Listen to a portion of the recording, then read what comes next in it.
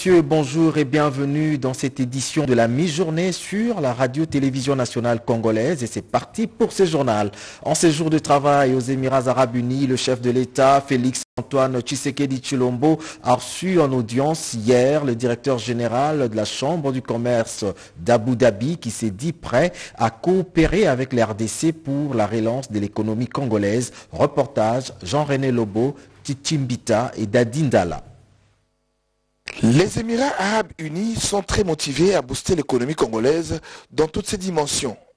Cette déclaration est de Mohamed Elal Al-Meiri, directeur général de la Chambre du commerce d'Abu Dhabi, à l'issue de l'audience lui accordée par le président de la République, Félix Antoine Tshisekedi Chilombo, ce lundi en début de matinée à l'Emirat Palace Hotel. Les Émiratis confirment examiner les opportunités qui peuvent être offertes par la République démocratique du Congo. Nous avons eu le privilège d'être reçus par euh, son Excellence Monsieur le Président de la République démocratique du Congo nous avons eu l'occasion de faire un tour d'horizon sur les opportunités d'affaires en RDC. C'était des échanges fructueux qui nous convainquent de motiver les investisseurs euh, émiratis à venir dans votre grand pays qui regorge d'un grand potentiel. Euh, nous restons aussi euh, ouverts face aux divers secteurs d'activité dans lesquels nous allons investir. Juste après, le cortège présidentiel s'est ébranlé sur la route de la Corniche, direction musée du Louvre d'Abu Dhabi. Le président de la République, Félix Antoine Tshisekedi Chilombo, a eu, avec toute sa délégation, l'opportunité de visiter l'immense bâtisse située à quelques encablures du port de Zayed. Ce musée, inauguré en mars 2007, est, faut-il le rappeler, le fruit de la coopération culturelle franco-émiratie. Accompagné de ses collaborateurs et des membres du gouvernement, le président de la République s'est fait guider par la responsable du musée tout le long de sa visite. Le Louvre d'Abu Dhabi regorge des œuvres de renom issues du musée du Louvre de Paris. À l'issue de sa visite, Félix Antoine Tshisekedi Chilombo s'est dit ému. Il s'est rendu compte de la rencontre des cultures à travers les œuvres exposées, ce qui, pour lui, donne la preuve de notre origine commune. L'humanité est un véritable carrefour des civilisations, a-t-il déclaré dans le livre d'or du musée du Louvre d'Abu Dhabi. Le président de la République, Félix Antoine Tshisekedi, a bouclé son séjour de travail à Abu Dhabi, aux Émirats arabes unis, euh, par une visite culturelle et spirituelle dans la grande mosquée Zayed, la plus grande de la contrée, euh, neuvième au monde, départ sa superficie. Encore une fois, retrouvons Jean-René Lobo et Chichimbita dans ce reportage. Pendant son séjour de travail de 112 heures aux Émirats arabes unis, le président de la République démocratique du Congo, Félix Antoine Tshisekedi Chilombo, a visité la grande mosquée d'Abu Dhabi. Guidé par Youssef Al-Obed, directeur général du centre islamique Mosquée touristique Zayed, nom de Cheikh Zayed Ben Sultan Al-Nahyan, premier président des Émirats arabes unis et commanditaire de l'édifice, le chef de l'État a eu des explications claires et nettes sur l'histoire musulmane et la construction de cette bâtisse qui aiguise la curiosité de tout visiteur aux Émirats arabes unis. Avec une superficie de 22 412 mètres carrés et sa capacité d'accueil de 40 000 personnes, la mosquée Zayed est la plus grande mosquée des Émirats arabes unis et 9e au rang mondial. Elle est située à l'est du Golfe. Sa construction s'est étendue de 1995 à 2007 pour un coût total de 400 millions d'euros. À la fin de sa visite, le chef de l'État s'est livré à la signature du livre d'or de la grande mosquée. Il s'est dit impressionné par cette œuvre grandiose érigée à la gloire d'Allah qui est aussi devenue un site touristique incontournable pour les visiteurs qui débarquent à Abu Dhabi.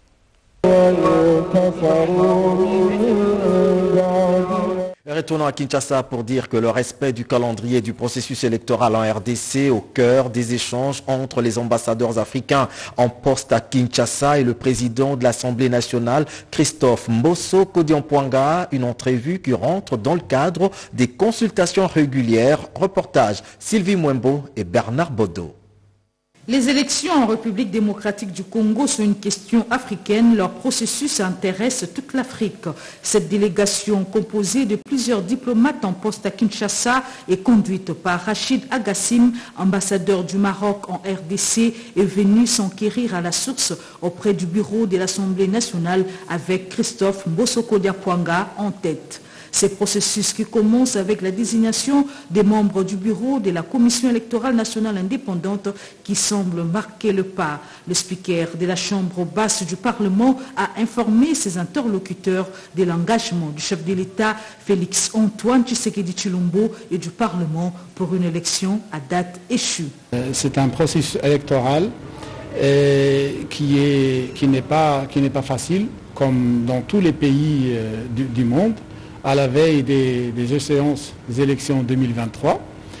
Et la présentation, elle était vraiment sincère.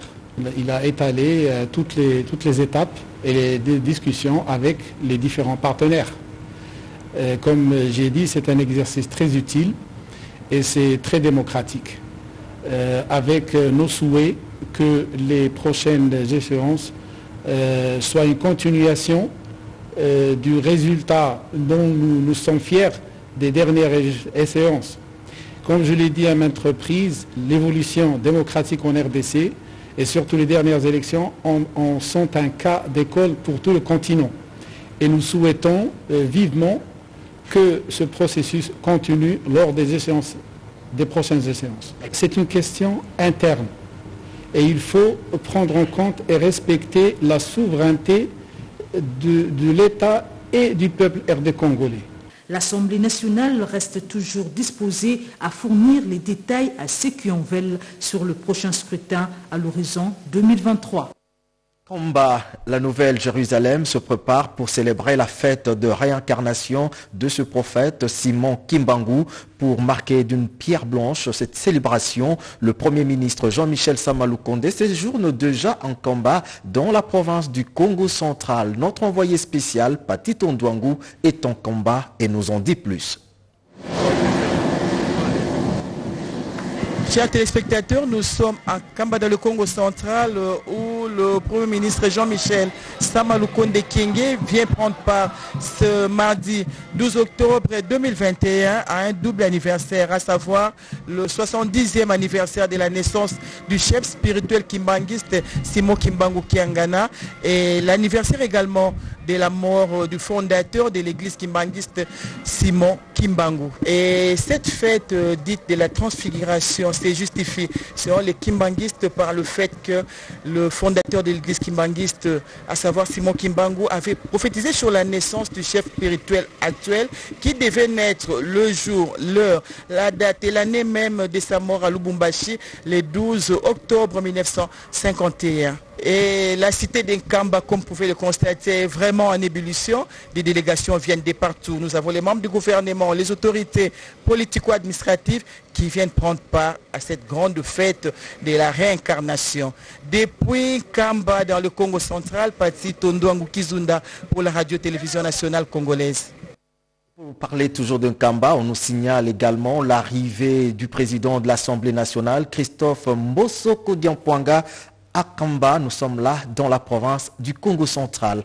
L'actualité, c'est également la première édition de la semaine congolaise du tourisme qui a été officiellement ouverte hier dans la province de Lualaba, dans l'est de la RDC, plus précisément dans la ville des Kolwezi, placée sous le thème tourisme et croissance inclusif. On fait le point avec Laetitia Massela.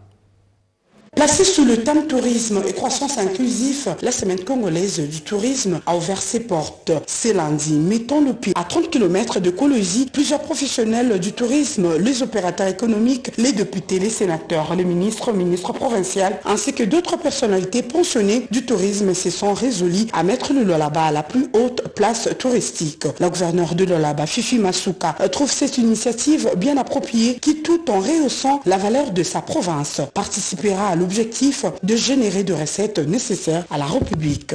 Sous l'impulsion de la politique générale édictée par le chef de l'État, je suis en train de porter un intérêt particulier sur le tourisme dans la province du Lualaba, qui est essentiellement une province à vocation minière où l'industrie touristique peine à décoller, bien que toutes les potentialités touristiques y soient présentes. Quant au ministre national du Tourisme, Modero Simba, il s'estime heureux de l'afflux des investisseurs venant des divers horizons et de la place qu'occupe désormais le Lualaba parmi les 26 provinces. Il s'agit ici de célébrer et de mettre en avant-plan les rôles uniques que peut jouer le tourisme dans notre pays en offrant des opportunités d'affaires dans un élan de valorisation et de préservation du patrimoine historique, culturel et naturel aussi varié qu'attractif regorge pays. Occasion également pour la ministre d'État, ministre de la Justice, Rose Moutombo, représentant le Premier ministre Michel Samaloukonde, a expliqué l'importance de ces assises. L'objectif principal poursuivi dans les cinquième pilier de ce programme du gouvernement étant de conduire la politique économique nationale sous ses divers aspects, c'est ici que le tourisme prend ses marques et s'installe comme l'un des leviers majeurs de la diversification de l'économie de notre pays. Ici de rappeler, le programme de cette semaine congolaise du tourisme prévoit diverses visites, assises ainsi que des expositions, forums, séminaires internationaux centrés sur la valeur du tourisme. Une activité qui vise à rayonner le Lualaba parmi les 26 provinces de la République démocratique du Congo. Raison qui justifie le haut patronage du président de la République démocratique du Congo, Félix Antoine Tshisekedi Chilombo. Lors de son récent séjour à Harare au Zimbabwe, le ministre de l'Industrie Julien Paluku Kaongia a échangé avec quelques investisseurs zimbabwéens sur les opportunités qu'offre la RDC aux investisseurs désireux d'investir dans notre pays. Reportage Betty Amanikunda. En séjour à Harare, capitale du Zimbabwe, le ministre de l'Industrie, Julien Paluku Kaongia, a pris tout son temps de manager le plan directeur d'industrialisation de la RDC auprès des partenaires œuvrant dans différents secteurs au nom du gouvernement. De ces contacts, la bonne nouvelle sous les secteurs de transport, le Zimbabwe a sollicité la réouverture de la ligne aérienne Kinshasa-Harare suivant les accords en cours et ce, dans le but d'accroître les échanges commerciaux entre Kinshasa et Harare. La ligne aérienne Kinshasa-Harare a été interrompue depuis bientôt 20 ans, selon le ministre de l'Industrie qui a promis d'en faire part à son collègue des transports, voies de communication et des enclavements. Toutefois, le ministre Julien Paluku Kaungia s'est dit favorable à la reprise des échanges entre la RDC et les Zimbabwe dans différents domaines, car la République démocratique du Congo ne figure plus dans la zone rouge. Sensibiliser la jeunesse estudiantine dans la lutte contre toute forme d'antivaleur, c'est le sens qu'il faut donner au lancement de la campagne de sensibilisation. C'était hier, journée dédiée à la jeune fille. C'est la conseillère spéciale du chef de l'État en matière de lutte contre les violences faites à la femme qui a procédé au lancement de cette campagne. Reportage Virginie Lofembe. L'Alliance internationale des femmes avocates pour la RDC, AIFA en sigle, organise une campagne de sensibilisation estudiantine et scolaire placée sous le thème Jeunesse responsable, pilier de la société de demain. Cette campagne va se dérouler du 11 octobre au 12 novembre 2021 en raison de quatre écoles par semaine. C'est la conseillère spéciale du chef de l'État en matière de la jeunesse et de la lutte contre les violences faites à la femme, Chantal Yelou Moulop, qui a donné le coup d'envoi. Chers euh, juristes et avocats, chères jeunes filles, je déclare aujourd'hui la campagne de sensibilisation ouverte. En présence de plusieurs invités de marque, la cérémonie a été ponctuée par plusieurs allocutions, dont celle du maître Dorothée Madia, qui a relevé l'importance de la campagne au regard des statistiques en sa possession. Une autre allocution, celle de l'ambassadeur international pour la paix, Trésor Bagaya Moukwe, qui s'est appesanti sur le plaidoyer en faveur de la jeunesse, de l'inspecteur Poul, représentant du ministre de l'EPST, et celle de maître Joël Kona Bamba, présidente en exercice de l'AIFA RDC, quant à elle a présenté la structure qui a pour objectif de promouvoir la femme, défendre, soutenir, établir un réseau socio-professionnel des femmes avocates afin d'accompagner les initiatives des femmes engagées dans les causes des femmes et des enfants. Nous avons juste décidé de nous assumer en tant que société civile, en tant que femme, en tant que mère et donc éducatrice, ainsi que toutes les institutions concernées pour que nous puissions, nous, à notre tour et ensemble, accompagner la jeunesse. Et suivant à présent cette forte délégation présidentielle de la Talc Force qui vient euh, d'arriver à Mbujimaï, au Kassai, pour réceptionner du matériel et équipement pour certains travaux. Regardez. Mbujimaï, capitale du diamant, chef-lieu de la province du Kassai oriental, a accueilli depuis dimanche 10 octobre courant une délégation de haut niveau de la taxe force présidentielle sur instruction du président de la République, chef de l'État, Félix Antoine Tshisekedi Chilombo. Elle est conduite par le général-major Dr Joseph Kangoudia, directeur de la clinique présidentielle, chef de la délégation, en l'absence du coordinateur de la taxe force présidentielle, Dr Roger Kamba, empêché. Cette mission consiste à l'acheminement et la dotation des équipements et matériels médicaux aux formations hospitalières de la province. Une action d'une portée sociale salutaire pour la population locale. Cette mission a des à été reçue par le ministre provincial Denis Kalombo, faisant le thème de Madame la gouverneure Jeannette Longo Moussamba en mission pour la présentation des civilités. Nous sommes en mission officielle dans la province du Kassai oriental avec un but précis d'acheminer et de procéder à une distribution de quelques matériels et équipements médicaux en faveur des structures médicales de la province du Kassai oriental. Monsieur le ministre Dine Kalombo, faisant le thème Madame le gouverneur, a remercié le président de la République, chef de l'État, pour l'attention particulière qu'il accorde à la province du Kassai oriental en y dépêchant plusieurs délégations pour réaliser des actions à impact visible. Nous en profitons pour remercier le président de la République. Chaque fois, il songe quand même à nous assister, à nous venir en aide. Et nous ne pouvons qu'être contents quand on nous envoie du matériel pour équiper nos hôpitaux et nos centres de santé. Ainsi, après l'acheminement total de ces équipements et matériels médicaux, il sera procédé à leur distribution. Le matériel et équipements médicaux sont entreposés en lieu sûr. La délégation de la task force présidentielle s'en est rassurée en effectuant une descente sur place. Le matériel est là, nous les réceptionnons. Ce n'est qu'une des nombreuses rotations qui sont attendues. Et d'ici, nous allons entreposer ces matériels à l'endroit organisé pour ça avant d'entreprendre la répartition et la redistribution de ces matériels tels que cela a été recommandé par l'autorité suprême. L'ensemble de tous ces matériels seront remis officiellement aux autorités provinciales pour une répartition selon les besoins de chaque entité. Orphelins et personnes des troisième âge ont reçu l'assistance des vivres et non-vivres de l'association Arc-en-Ciel Lissungi. Objectif, redonner une meilleure vie à cette catégorie des personnes au sein de la société. Reportage Paulette Lomba et Cédric Kenina. Venir en aide aux personnes de troisième âge, c'est apporter sa contribution à la construction d'une société juste et reconnaissante. Être solidaire, c'est être le maillon d'une chaîne sociale pour accompagner une vision, celle du chef de l'État Félix-Antoine Tshisekedi Chilombo. C'est ainsi qu'Arc-en-Ciel Lissungi est allé au chevet de personnes âgées et orphelins dans la commune de Ngaba. Si nous sommes là, c'est pour transmettre la vision de l'arc-en-ciel aux membres de la nouvelle cellule de Kingabwa. Vision qui consiste à venir en aide aux personnes vulnérables de ce coin de la capitale. Nous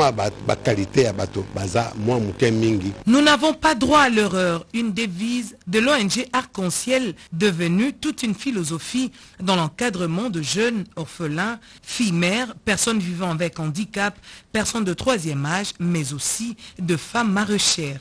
La preuve, elle prévoit la construction d'un centre médical dans le quartier Kingabwa et des écoles, le tout planifié au cours d'une rencontre à la nouvelle cellule de ces quartiers de la commune de.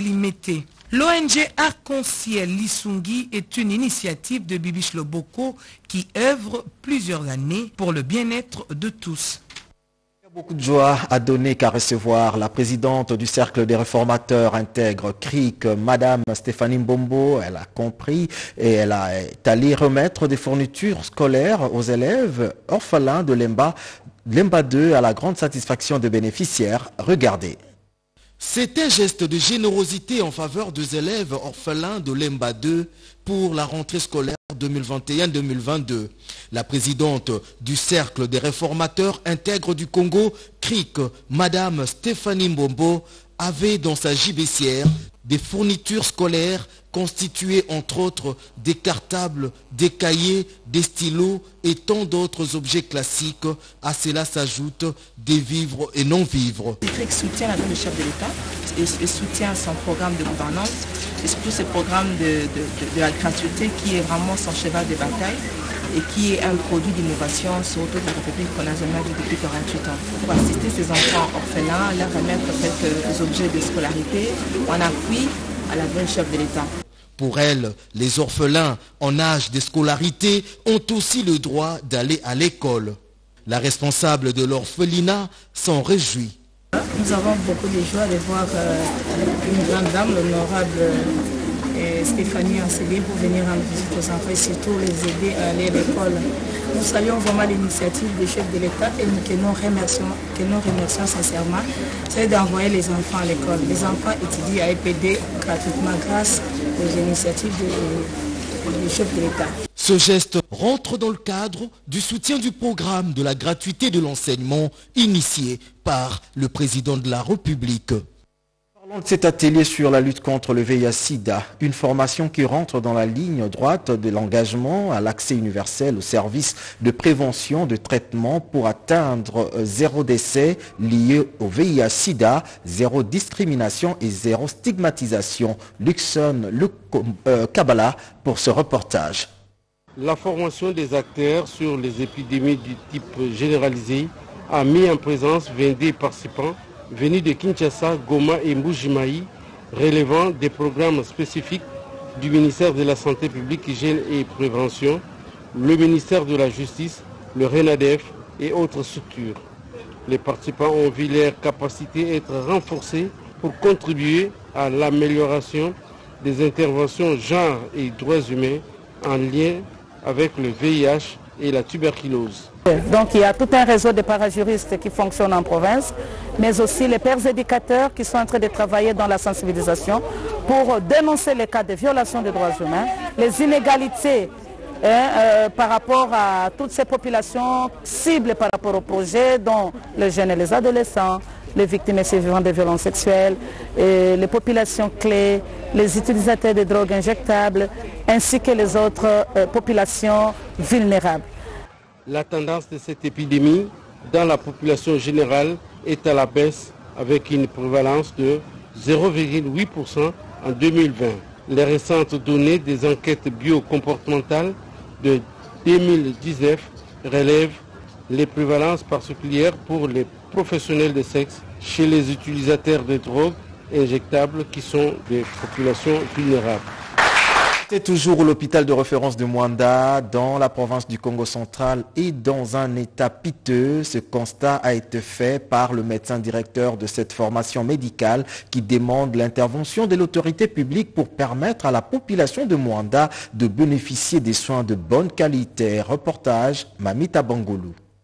D'une capacité de 150 lits, l'hôpital général de référence de Mwanda compte 135 agents, ce qui est un pléthore pour Flavien Matondo Kinata, médecin directeur de cette formation hospitalière. Informé du mouvement des grèves décrété par ses personnels depuis 4 mois, ce haut cadre a déploré l'absence prolongée des infirmiers sur le lieu de travail. depuis que la grève a commencé, ça fait pratiquement 4 mois.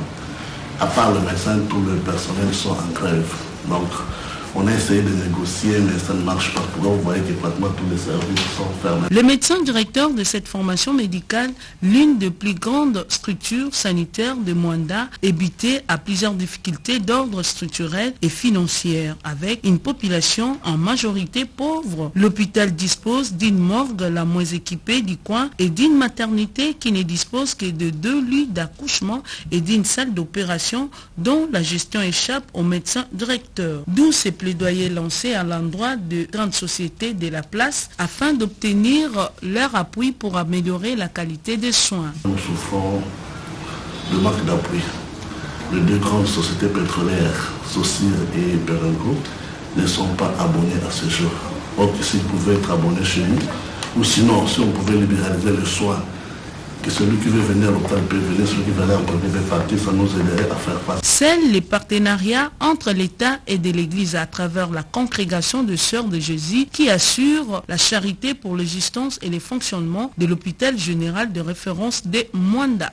Parlons de l'enseignement supérieur et universitaire avec euh, l'intitulé de cette thèse, euh, problématique de la gestion de la tuberculose, pharmacorésistance en RDC, quelle alternative au régime standard long avec aminoglycosides Ce sujet a servi d'étude approfondie d'une thèse d'agrégation en médecine dont la thèse a été soutenue à l'université de Kinshasa. Reportage Rodé Ponda. Cette dissertation doctorale, le chef de travaux Inosa Kachongwe relève les constats d'un succès thérapeutique faible dont plusieurs facteurs incriminés ont été identifiés, notamment l'indisponibilité de nouvelles alternatives thérapeutiques. Des interventions ont été menées et programmées afin d'améliorer le déficit structurel et organisationnel et surtout implémenter des nouvelles alternatives thérapeutiques en faveur des patients. Ce qu'il faut retenir, c'est que la tuberculose pharmaco-résistante, pour ne pas l'avoir, déjà il faut respecter le traitement qui est prescrit.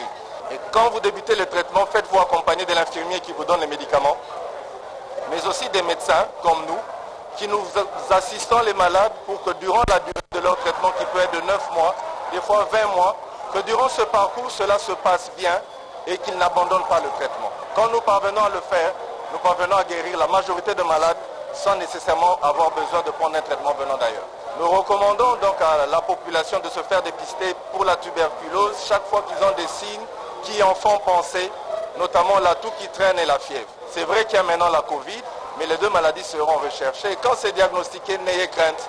La République démocratique du Congo dispose bel et bien des médicaments efficaces et des médecins infirmiers et centres de santé capables de vous prendre en charge. Après débat et délibération à huis clos, les jurys composés des éminents professeurs d'université a jugé recevable la thèse rédigée par le chef de travaux Innocent Kachongwe qui désormais devient docteur. Les autorités académiques lui ont conféré le grade d'agrégé à l'enseignement supérieur en médecine. Ainsi, les insignes de l'université lui ont été donnés pour une jouissance purement scientifique. Infrastructure CAP dans la province du Haut-Katanga où les travaux des modernisations de la voirie de la ville de Lubumbashi vont bon train. Le gouverneur Jacques Kabula-Katoa a inspecté les travaux en cours sur la route Kassapa dans la commune de Lubumbashi. Près de 5 kilomètres sont en plein asphaltage du carrefour aux cités universitaires de Lubumbashi. Reportage Didier Mumba. 4 km 800 de long et 7 mètres de large avec accotement, c'est désormais l'image de la route Kassapa qui part du rond-point Carrefour à l'université de Lubumbashi. Les travaux sont exécutés par l'entreprise Invest Congo et supervisés par l'Office des voiries et drainage, sous financement du gouvernement provincial. Ils sont à ce jour à la phase d'asphaltage sur une distance de plus ou moins 1 km et 200 mètres de structure. Le gouverneur de province, Jacques Aboulakatoué, qui a inspecté ce chantier, s'est dit satisfait du déroulement des travaux. Ma grande satisfaction, je vois que les travaux évoluent comme il se doit et je viens de constater qu'il y a eu euh, pose euh, de l'asphalte et c'est 6 cm qu'on est en train de poser et les travaux vont très bien évoluer et l'objectif c'est de terminer et d'avancer vite avant la tombée des pluies. Pendant ce temps, les travaux d'assainissement se déroulent le long de cette artère. Au final, la route Kassapa rénovée va beaucoup plus fluidifier la circulation entre le centre-ville de Lubumbashi et sa périphérie. Au début de travaux de réhabilitation de quelques routes de dessert agricole, Kindu Kibombo et Kindu Kasuku. Nous sommes là dans la province du Maniema donc pour euh, le coût est évalué à plus ou moins 159 000 dollars américains. La cérémonie de lancement des travaux a été présidée par le gouverneur de province. Euh, commentaire Rodépanda par le gouverneur à Idi Maniema, à Fanny Idriss Mangala, en présence des membres de son gouvernement provincial et la notabilité du Maniema, représentée par Monseigneur François Abeli Mourouya, évêque catholique du diocèse de Kindoum, les travaux de réhabilitation des routes et des desserts agricoles exécutés par l'Office des routes tronçon Kindu Kibombo, long de 159 km et Kindu Kasuku pour 22 km, commencent avec les remblayages, les reprofilages et la canalisation des eaux. Point de départ, la bifurcation des catapultes Kakokombe, chef-lieu du secteur de Bangengele. L'administrateur du territoire de Kailo a marqué sa gratitude au numéro 1 du Maniema pour la priorité leur réservée un compte de 60 000 dollars américains sur le total de 156 000 dollars américains sont déjà disponibles dans la caisse de l'ASBEL d'ESCAD, une structure bénéficiaire du contrat, a précisé le directeur provincial de l'Office de route. Il est important de fixer l'opinion que les travaux de deux ponts ainsi que les village du kilomètre les séparants sont déjà terminés. Le reste est en cours d'exécution. La durée des travaux est estimée à six mois hors intempérie. Nous tenons à remercier son Excellence M. Afani Idrissa Mangala, gouverneur de province, ainsi que M. Salomon Kalonda, responsable de l'ONGD. Tous des fils de cette province ayant manifesté leur amour envers notre population. Afani Idriss Mangala rassure la population de la disponibilité de fonds pour tous ces travaux. La route Kindu-Kibombo, cette double cérémonie s'est déroulée sous la bénédiction des ancêtres et de l'évêque de Kindu. C'est par cette note informative que nous bouclons complètement